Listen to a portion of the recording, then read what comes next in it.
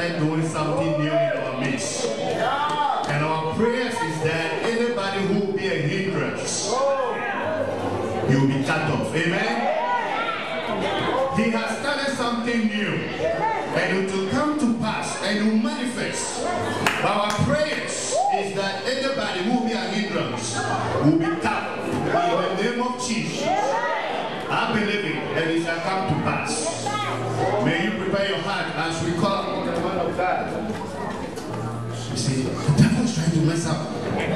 our speaker system.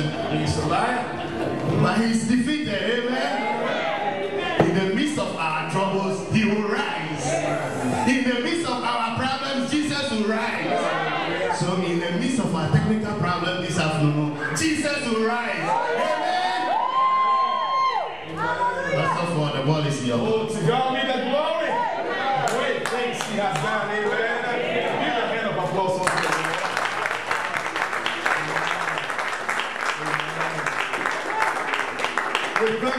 So much for this great opportunity this afternoon, amen. As you and I sit here, there are many lives that have been destroyed by the earthquake. There are many who are without homes those who cannot find their loved ones. And therefore, if you and I can sit here with a fan on, in air condition, sitting on a padded piece, amen, we need to make much noise to the Lord, amen. So give a hand, I mean, a kind of noise unto the Lord. Hallelujah. Praise the Lord.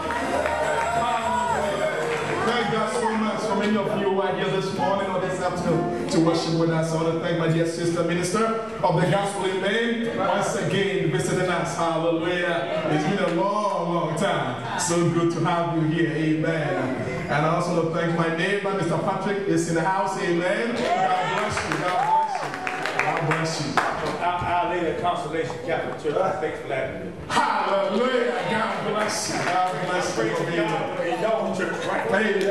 Amen. Amen. What the Spirit, the Spirit of God is moving around. Amen. And uh, you know, when you have leaders backing you and the members backing you, you know, you have a big head, right? Yes. And that's when I'm so blessed. And, you know, they, they started taking their seats where they should be taking. Amen. We have to add more seats so that all the leaders will be here. Praise the Lord. And if you can't be here, we need to talk about that. God bless. Let us bow our heads for prayer. Father God, we thank you so much for this honor. Giving us, oh Lord, to come and sit at your feet. In the midst of all the crisis and the chaos, Lord, your children purposely have chosen to come and worship you. And out of our worship, oh Lord, may you pour forth your blessings on us. That Lord, we too will be a blessing unto others in the name of Jesus Christ. Lord, within this short time that we are going to uphold your word, we ask that you will open our eyes so that we may behold thy wonderful things out of your law. The Lord, as we depart from here this afternoon, we won't live here as victims, oh God. Rather, we'll live here as victorious people, overcomers in the Lord, in the name of Jesus Christ. And you, devil, listen to us by the authority given to us from high. Through Jesus Christ of Nazareth, we command you to pack and leave now in the mighty name of Jesus. This is not your place. Your place is in the Hades. We command you to go there now. In the name of Jesus Christ. Holy Spirit, have your own way. In Jesus' name. Amen. God bless you so much, and I'm not going to take much of your time because we've already, you know, praised God and worshiped Him and have been blessed through the song ministrations, amen, and the word that was read to us, amen. This morning, once again, we are embarking upon the journey that we began this year as we study the book of Matthew, the Gospel of Matthew. And now the point we are so we are this year so baby uh you shall say I will Matthew asempa no emu and eh the year. So as we continue on this journey, last week as many of you may remember, Jesus and the three guys, John, Peter, and James, right? Experience a moment on a mountaintop. Amen. And many of you may be aware that we began the Lent season. A season of 40 days as we wait and experience the awesome presence of the living God. As Jesus was preparing, you know, for the ministry that was before him, God took him to the mountaintop. And in the midst of the chaos, uh, Peter says something that I believe he regrets saying.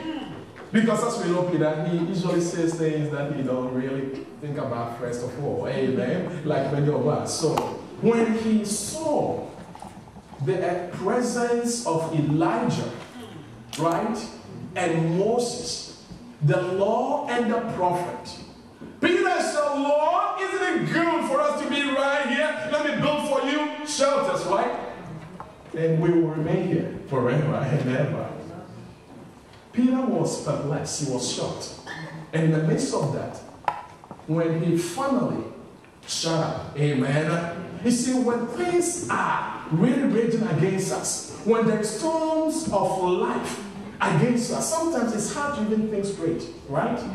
When you have lost your job or your business or your loved one, you know, the mind cannot really get together. And sometimes you may be tempted to say something that you really don't mean it. Amen. Amen. So Peter somehow said something that he really didn't mean it. He was confused. Brothers and sisters, in our confused state, let us be quiet and see what the Lord is doing. In the midst of the storms, as we have experienced happening in Japan, in right in our offshore, I mean West Coast, right?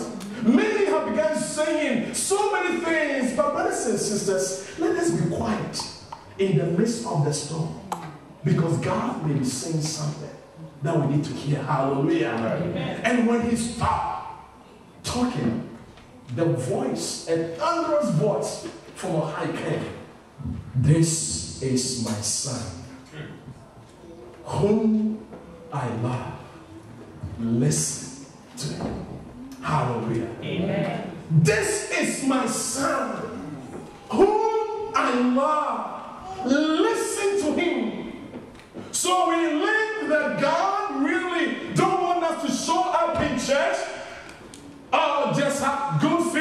church. Rather, God wants us to what? Listen to his instructions. Hallelujah. Amen. God wants us to what? Obey him. onyame pɛ sɛ nea ɛyɛ yi nyinaa no yɛtiri dɛ ɛnyɛ sitie ɛde ma n'asɛm sɛ yɛhwehwɛ agyinapo ne abibia ne asɛm a it's what? Hallelujah. Amen. It's nothing. When we do all the jumpings and all the hoolas and everything, and we don't obey the word of the Lord, we are nothing before Him.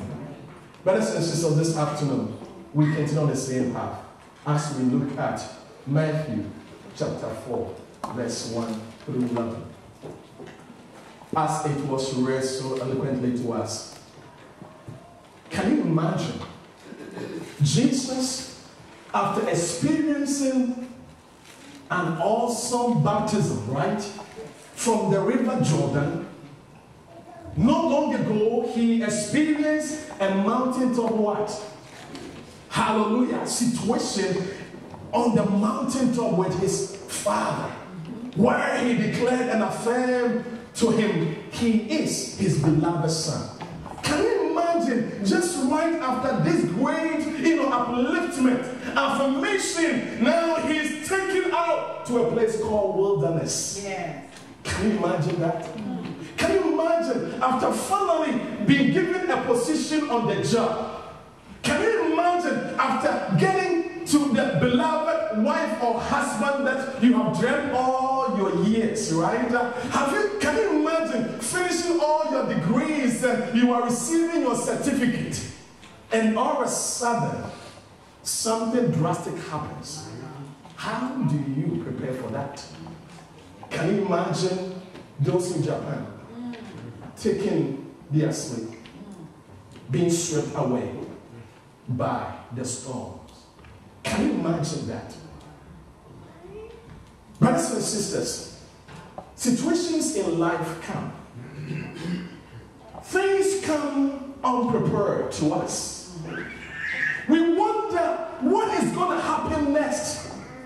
Where is the next meal coming from? Am I going to hold on to my job next month? When am I going to get my life together? Things happen in this life. Life is monotonous. Life is full of what? Challenges and trials.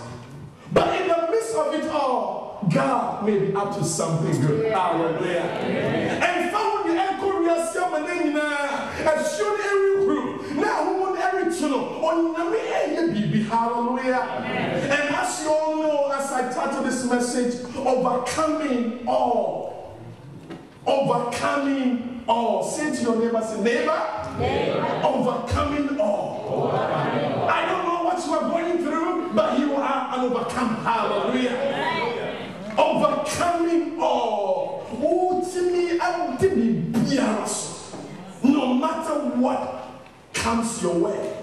Jesus, great upliftment, confirmation. Yes. Now the word says, the Spirit, the Holy Spirit, took him to the wilderness to be what? Tempted by the devil. Can you believe this?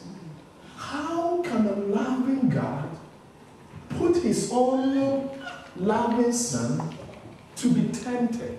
Hallelujah. Amen. You wonder sometimes how you and I may say, God, you see, how can I go through this as a Christian, right? Yes. Why should this happen to me?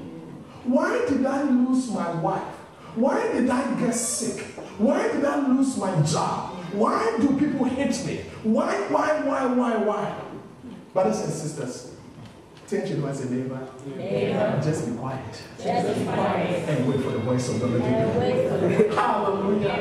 Ɔnua, mama yɛ mpirapira ho. Sɛ wɔn ne retu, nneɛma keka nsi, na wɔn ti ase a, be quiet before the Lord. Amen. When the Spirit took Jesus to the wilderness, the Bible says that he fasted and prayed how many days? 40 days and 40 nights. And physically, that is the average that a man can go. After that, there is death. Amen. Why should God do this? Why should God do this? Maybe you are questioning God in your own life now as you sit. God, why me? I think I'll be better off being in the world than being in the church. God, it's better off being in Ghana or my hometown than being in America. You regret of where you are now. Brothers and sisters, don't be alarmed. Amen. Because God is about to do something. Amen. But the Bible says that the secret things belong to God. But the things revealed are for us and our children. In order to understand what God is doing in the midst of the storm, you must spend time with God. Are you with me? So person ni nyame ɛyɛ ɛwɔ wiase wɔ asetena mu a nneɛma bi ɛrekɔ so a nyame ɛna ɛwurade ate na. As we began these 40 days and 40 nights, in our church, we set aside 21 days. Hallelujah. Just half of um, what Jesus did. How many of you have started fasting? Praise the Lord. God bless you. If somebody didn't fast, encourage that brother, brother, you can do it. Amen. It's time to close the refrigerator, right? It's time to let go of certain things so that you and I can be in close proximity with Jesus Christ. Because if we don't feel this physical body, what happens? it dies. So it is. If we don't feed the, the spirit within us, right, the spirit will not be able to what? Work in us and live through us. The fruit of the spirit is the word of God. Hallelujah. Jesus, the secret is this. Jesus was about to determine the eternal what? Faith of every person who had ever lived or ever will live on the face of the earth. Do you know what was before him? The devil knew it. That this person has come to take away my what? Position. Right? Everything that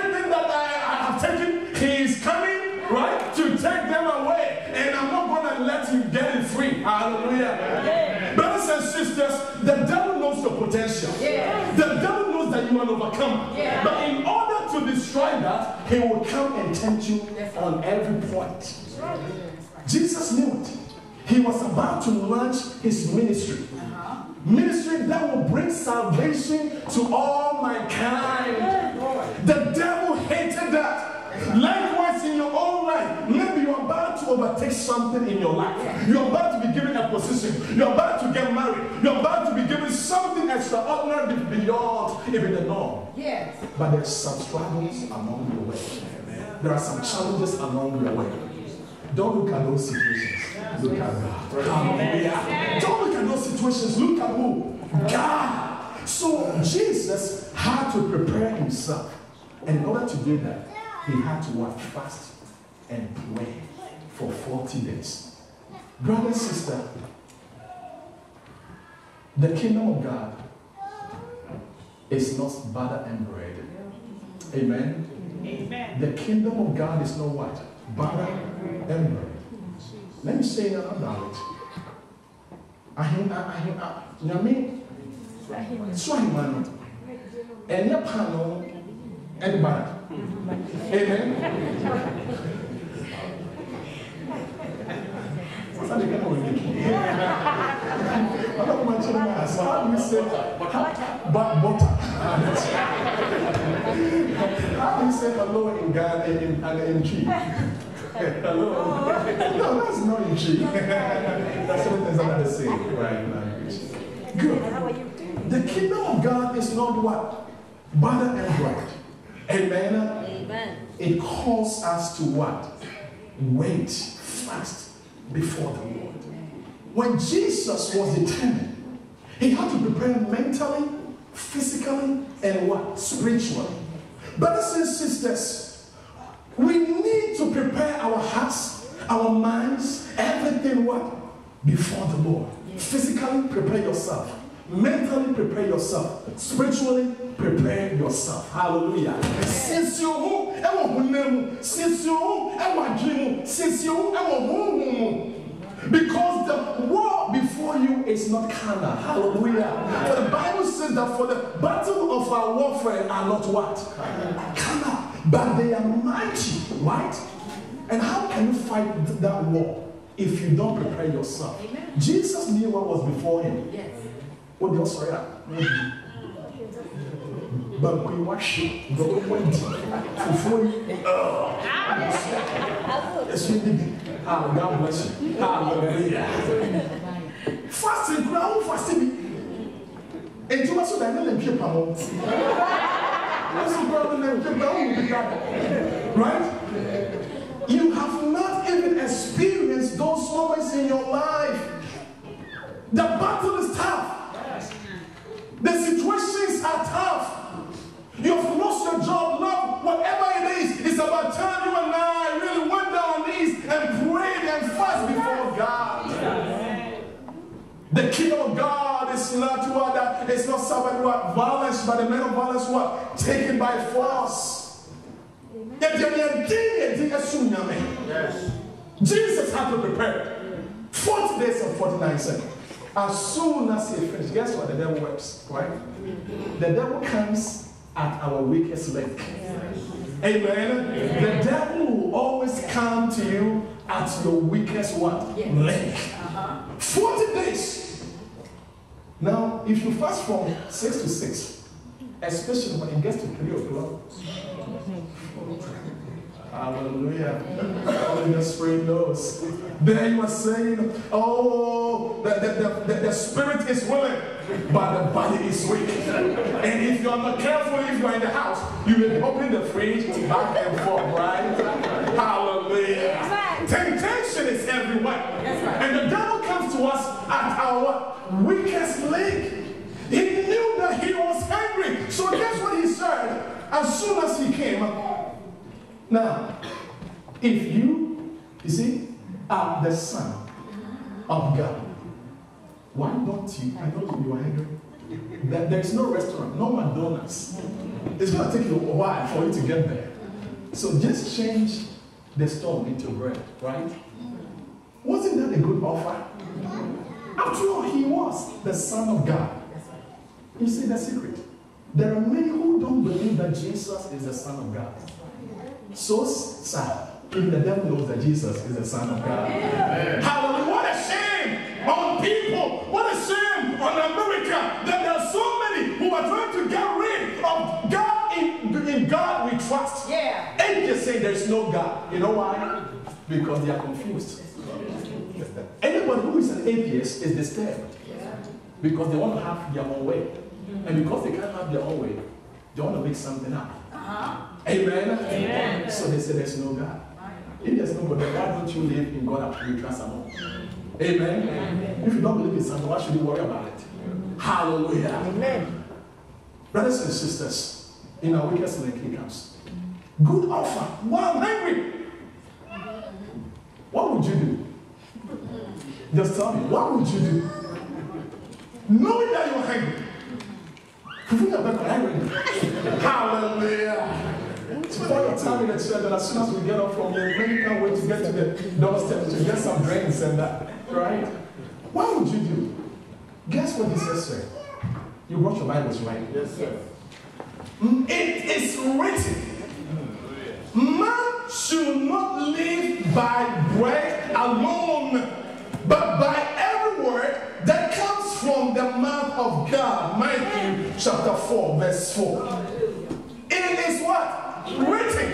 Yàtúrọ̀ sẹ́, ẹ̀yẹ́ paano nko, ẹ̀sìn wọ̀ ní paa yẹ.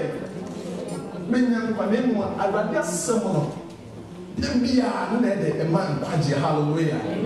Wow.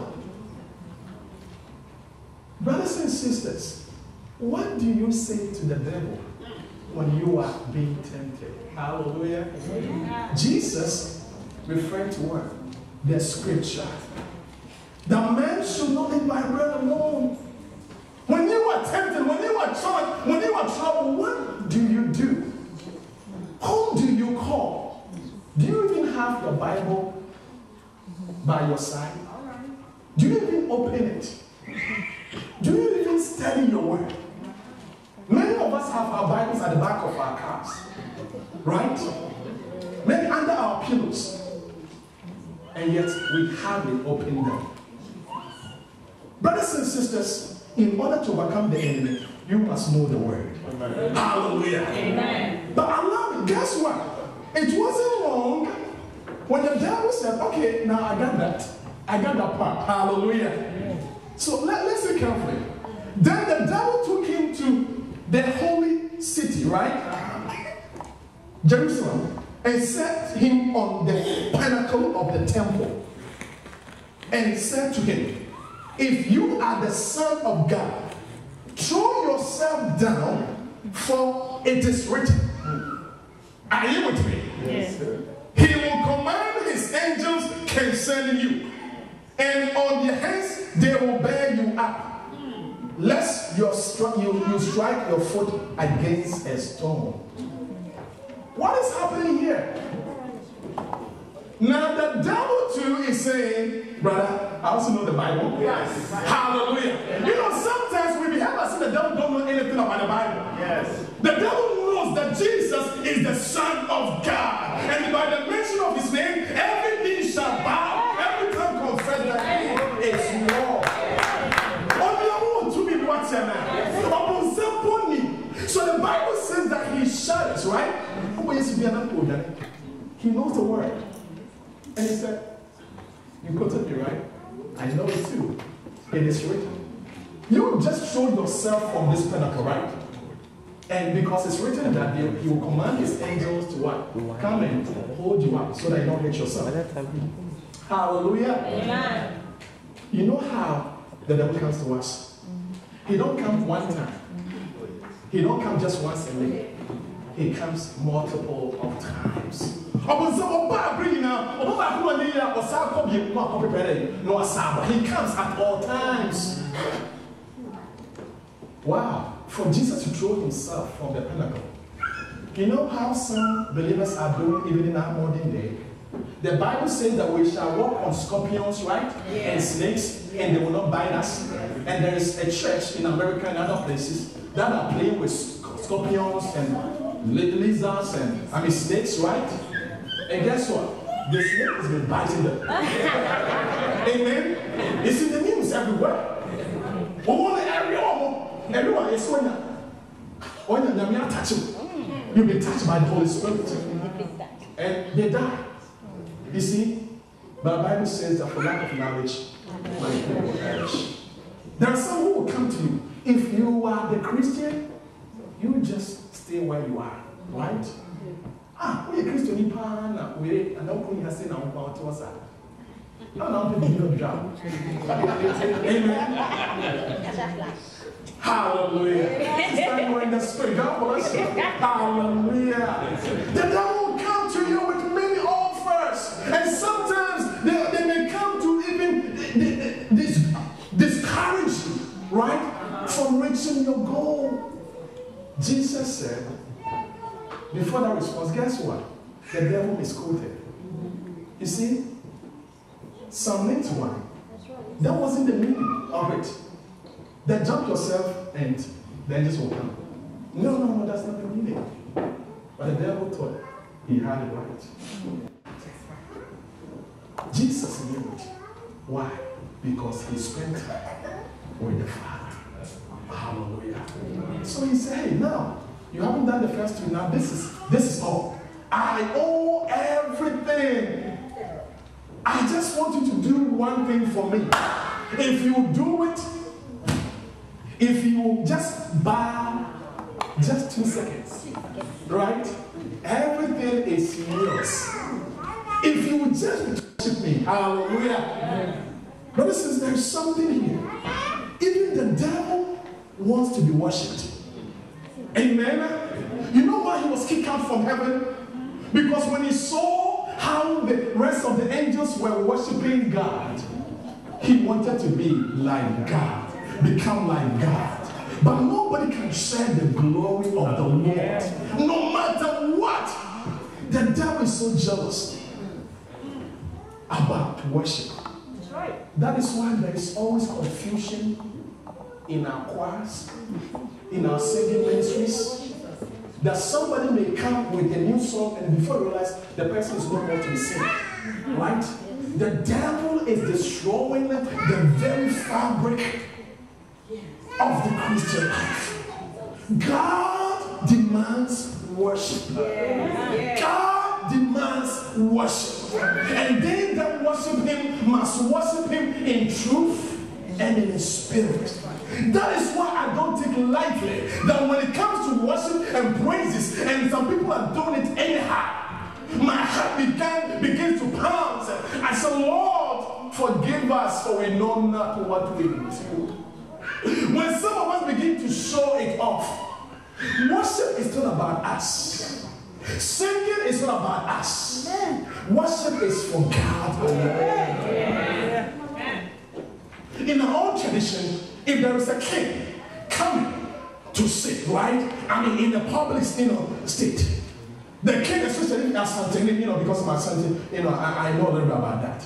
Upper kind man, that kind of, what do you call the parachute? What is it? Palanquin. Amen. Amen. Whatever you call it, it's been a long time. You know, when they sit in that thing, the king will be doing this, right? Right? All belongs to me. Right? Left and right. Left and right. Amen? But really, is it true? Amen? And you see some people carrying that, amen. Never free at you. And we are kitty. Nanebo. Nancy, oh, what would you know? Because never. Nana get bre bre bre. Now, tell me, sir. Nana bre bre. Right? Hallelujah. If there be any person on this earth who needs our worship, it's the Lord. Hallelujah. Only God alone deserves our worship. So when we come to worship Him, give all that you have. This is what the psalmist said. I will worship with the Lord with all my heart, with all my being. Let everything within me what? Praise His holy name. Even the devil wants to be worshipped. Upon some come say worship and I know it's you. And guess what Jesus said to him? Get behind me, devil. Yes. Hallelujah. Brothers and sisters, the point is this, my time is far gone. The point is this. In a literal way, Jesus was saying, enough is enough. Hallelujah. Enough is enough. You be a hindrance to me. Is enough. Brothers and sisters, it's time to turn to the devil and say, Devil, there's no more argument. There's no more what? Coaches. Amen. Enough is enough. Get behind me. There are many who are still condoning and conniving with the enemy. nkɔmɔ eh, eh, right hold on wait aberante ɔbɛsra wo nine thirty ɔda so te hɔ christian brother christian sister. Tell that brother is that enough? Hallelujah. Brothers and sisters this is serious. Whatever temptation that you are going through Whatever has been a hindrance, it's about time you say to yourself, enough is enough. If somebody is been bothering you, if somebody is trying to block your blessings, it's about time you say, enough is enough. When Jesus said to them, enough is enough, guess what? He packed and left. Amen. Brothers and sisters, as I bring to this to a close, where have you been tempted? Temptation comes all around us. The Christian life is not butter and bread. It's a life of sacrifice. It's a life of prayer and fasting. It's a life of determination. Temptation will come at all costs. But remember, you are an overcomer. When Joseph found himself alone in Potiphar's house, nobody was there. That was a great offer. That was an excellent offer. But Joseph said, How can I sin against my God? Brothers and sisters, there are temptations, temptations everywhere, especially in America. Temptations on the job, temptations in the church, temptations at home. When nobody is there in the house and you are on the computer, there is temptation. On the job, there is temptation. At the malls, there is temptation. Even in the church, there is temptation. But remember, you are an overcomer. Yana de Baker so oh, when they eh, in soccer the two meal in our basket. Nyame ɛna ɛte aseɛ sɛ ɔsoma nsɔhwɛ biara ɛma wo so a bɛboa wo ɔde am to overcome. Hallelujah. That he will give you power to overcome every temptation that will come your way. Maybe somebody is tempting you in this church. You are built with anger, frustration. Maybe in your home there is no peace of mind. You are being tempted. On the job, you can't have your peace of mind to do your work. You are tormented from both sides, left and right, back and front. Remember, the one who is in you is greater than the one that is in the world. You are on an overcomer. There's a story that I heard, and I'd like to retell the same story again. There was a farmer who went out to farm, and along the way he came across an egg. The egg was quite different. He picked the egg, came home, put it under one of his, you know, chickens, right? The hens. And lo and behold, the day came, and the eggs were hatched. And he observed carefully that the egg that he brought was quite unique. Even though it was like one of the chickens, but it wasn't a chicken. They all grew together, they ate together. But one day, that particular egg, look, saw himself. I don't look like them. There are some birds flying over there. But I think I'm still a chicken. He continued that. Then one day the farmer said, No, you are not a chicken. You are an eagle. So go. Fly with. He said, No, no, I'm a chicken. I've been eating, I was born here, raised here, eating like chicken. I'm chicken. I can't fly. The farmer tried many times. Then one day, he lifted the eagle on the hill and said, You can fly. Release the eagle. And guess what? The eagle began soaring. Amen. Unfortunately, there are many who have the potential of an eagle, but we are living like chickens. May you thank him as a neighbor. You are not a chicken. You are an eagle. Hallelujah. It's time to to overcome. It's time to overcome. Let us go. Maybe you see yourself so weak. Maybe you see yourself so tormented, so troubled. You are saying to yourself, maybe it's over. I can't make it in this life. I'm alone. There's no hope for me. Brothers and sisters, you are an overcomer. You are not a chicken, you are an eagle. Yeah. God has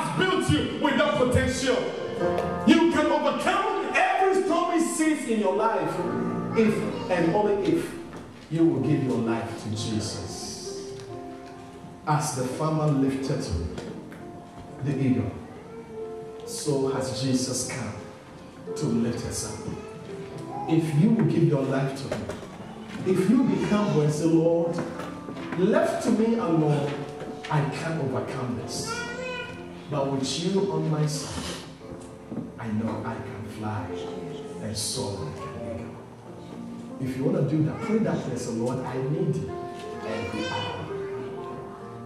I need you every hour in my life. Because the temptations are coming. As a young girl, as a single person, maybe on the job, in your own home, in your house, temptations are everywhere. You want to do what is right before God, but you are being pulled to the other side. Remember who you are and for whose you are. You are somebody in Christ. You are an overcomer. Give your life to Him, and you will never be the same. If you know Jesus Christ as your Lord and Savior, I also ask you to continue running the race. Don't give up. Don't let the devil quote you with any scriptures. Stand firm. For your light is right your doorsteps. Very soon, God will do something great. As soon as Jesus passed the test, the Bible says that the angels of the Lord came and ministered to him. Brothers and sisters, when you and I are able to pass the test before us, all the angels will come, wrap their arms around us, and they'll be shouting to us, Bravo, bravo, bravo. Congratulations, congratulations. congratulations. The day is coming when Jesus will congratulate those who remain faithful to him. Would you be one of those persons that Jesus will say, Thank you, thank you for not surrendering to the plans of the enemy? Dear Jesus, we thank you for your word. There are so many temptations around us. But this after Lord, you have talked to us that indeed we are overcomers. Help us in our times of weakness to be strong, to be bold, to be the overcomers. So that on that day, when you call us up yonder, we'll be able to hear that voice saying, Come to me, you who have been faithful in this. Come into my abode. Thank you, Holy Ghost. Thank you, Master Savior. Jesus.